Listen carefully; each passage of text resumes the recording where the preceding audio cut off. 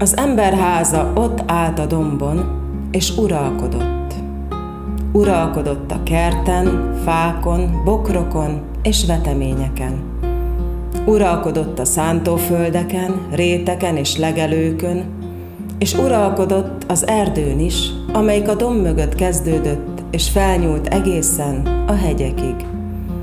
A fák gyümölcsöt teremtek, a gyümölcsöt leszette az ember, aki a házban élt, és eltette télire. Összegyűjtötte a veteményt, és a pincébe rakta, hogy ne érhesse a fagy. A szántóföldekről begyűjtötte a gabonát, a rétekről a szénát, és az erdőből a tüzelőfát. És mindent úgy helyezett el a házban, vagy a ház körül, ahogy az a legcélszerűbb volt. Tél kezdetén beterelte állatait a legelőről, meleg istálókban adott szállást nekik, és gondoskodott róluk. Így élt az ember. Meg tudni kell azt is, hogy a ház kéményén tavasztól őszig gólyák áldogáltak, és az eresz alatt fecskepárok fészkeltek. Tudni kell, hogy tavasszal rügyező nyírfák illata vette körül a házat, s nyáron madárdal és sok virág.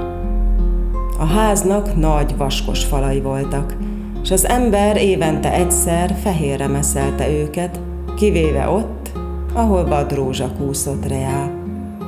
Ez a vadrózsa június derekán virágzott, és olyankor a szélesre tárt ablakon keresztül az illat beömlött a szobákba. Így élt a ház, és benne az ember sokáig. Egy borús őszi napon, mikor az eső zsinóron lógott az égből, valahonnan két kis ázott szürke patkány érkezett. Messziről jöttek, fáztak és éhesek voltak. Meglátták a házat, besúrantak a nyitva hagyott ajtón, és elrejtőztek a pincében.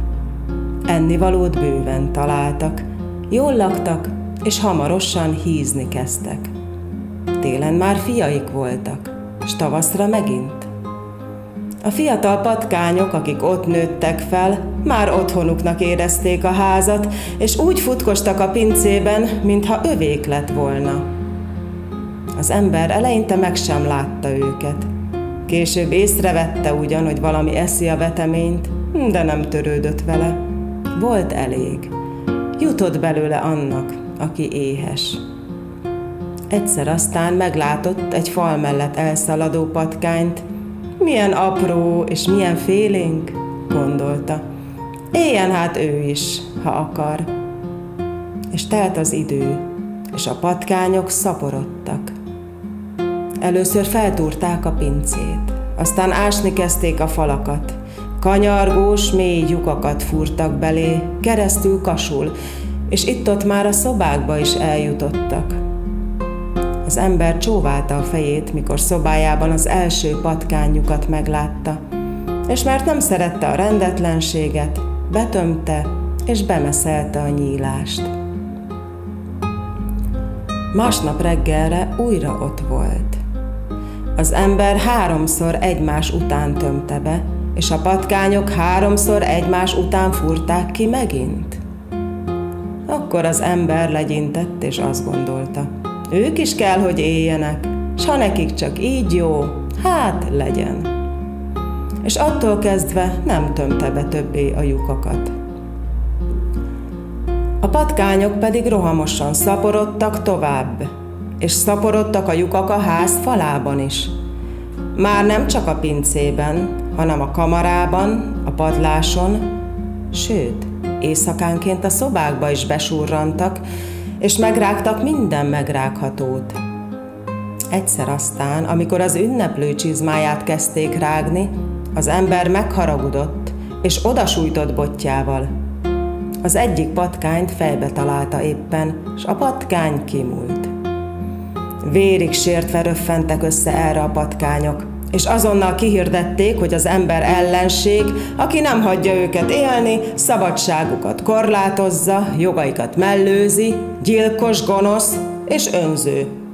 Nem leszünk a rabszolgái tovább, visította a főpatkány egy zsíros bödön tetejéről. Követeljük a szabadságunkat és a jogainkat, és a patkányok elhatározták, hogy harcot kezdenek az ember ellen. Az ember mindenről nem tudott semmit. Haragját hamar elfeledte, vett más ünneplő csizmát magának, és nem törődött a patkányokkal tovább. Pedig akkor már rengeteg sokan voltak. Megették a pincében az összes veteményt, a kamarában az összes lisztet és az összes sajtot, sőt, már a szalonnát is rágni kezdték, pedig tudták, hogy az az ember legféltettebb kincse, amiből még a kutyájának sem ad. Az ember, mikor ezt észrevette, fogta a megmaradt szalonnát, rúdra kötözte, s a rudat a dróttal fölakasztotta a gerendára. Ebből lett aztán csak igazán nagy felháborodás a patkányok között. Szemtelenség, gyalázat! kiabálták, mikor rájöttek, hogy nem férkőzhetnek hozzá. Elrabolja az élelmünket, kifoszt, kizsákmányol, nem tűrjük tovább! És föllázadtak. Miénk a ház? hirdették ki maguk között. Miénk is volt örökké, csak megtűrtük benne az embert, amíg jól viselte magát. De most elég! És egy éjszaka, amikor aludt, rárohantak az emberre, összeharapták, kikergették a házból, messzire elüldözték, s aztán büszkén kihirdették a kertnek, a fáknak, az állatoknak és a madaraknak, még a virágoknak is, hogy a ház ezen túl nem emberország többé, hanem patkányország, jog és törvény szerint. És azzal uralkodni kezdtek patkánymódra. Mindent felfaltak, ami ehető volt, és mindent megrágtak, ami nem volt ehető, de szemük elé került. Kiürült rendre a pince, a kamara és a gabonás. Elköltöztek a madarak, elpusztultak a virágok, a házfala omlani kezdett és megfeketedett, fák és virágok illatát bűz váltotta föl. A vetemény ott pusztult a földben, mert nem szedte ki senki. A gyümölcs megérett, lehult és elrohadt. A gabona aratatlan maradt, kimosta az eső, és kicsépelte a szél. És eljött a tél, és a patkányok addigra már megettek mindent, ami ehető volt, megrágtak mindent, ami rágható volt. A falak tele voltak lyukakkal, a tetőről lehullott a cserép, ablakok és ajtók alatt öles nyílások tátongtak. És akkor éhezni kezdtek, mert nem volt egy szem gabona több, és az ajtók hasadékain, meg a falak odvain besűvített a szél, a megrongált tetőn behullott a hó, és nem tudtak segíteni magukon.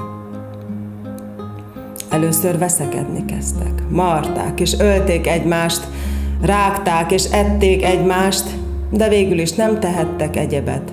Fölkerekedtek, és ott hagyták a tönkretett birodalmat. Az ember pedig tavaszra szépen visszajött megint rendbehozta a tetőt, kitakarította a házat, a falakat megigazította, a földet felszántotta, vetett és ültetett, s mire megjött a nyár, újra virágillat és madárdal vette körül a házat. Őszre ismét megtelt a pince, a kamara és a gabonás, és mire jött a tél, olyan volt már minden, mintha semmi sem történt volna. Azonban elrejtőzve maradt mégis néhány patkány a falakban, vagy a pince gödreiben. És amikor az ember észrevette, hogy újra szaporodni kezdenek, hosszasan elgondolkodott, hogy mit is tegyen velük. Ti is gondolkodjatok, és az szerint cselekedjetek.